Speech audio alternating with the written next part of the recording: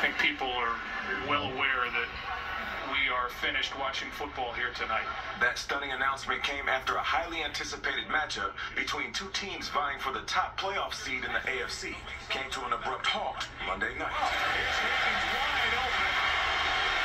Nine minutes into the first quarter, Buffalo Bills safety Damar Hamlin tackled Bengals wide receiver Tee Higgins.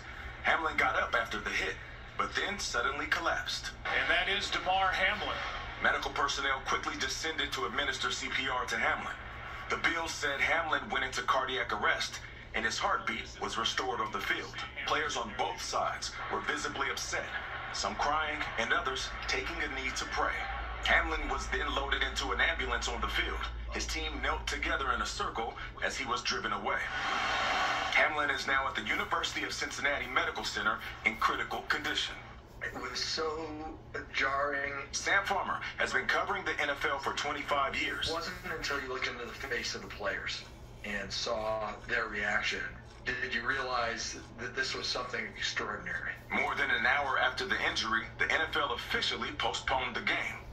As fans filed out of the stadium, a group traveled to the hospital, lighting candles and praying together. Hamlin's injury follows other frightening scenes on the field this season that has put the NFL under scrutiny over player safety. Miami Dolphins quarterback Tua Tagovailoa sustained three blows to the head this season, resulting in at least two concussions. He returned to play in two of those games.